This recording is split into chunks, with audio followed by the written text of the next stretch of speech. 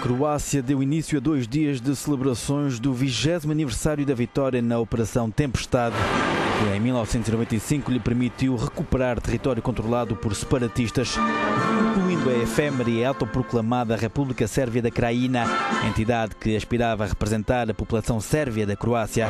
Foi a última e decisiva batalha na guerra da independência do país. Do lado sérvio recordam-se os mortos. Belgrado organizou uma cerimónia para lembrar aqueles que morreram no que considera ter sido limpeza étnica. Segundo o Comitê de Helsínquia, morreram quase 670 sérvios. A Sérvia afirma que perderam a vida 2.500 pessoas num conflito sangrento originado pela desagregação da Jugoslávia.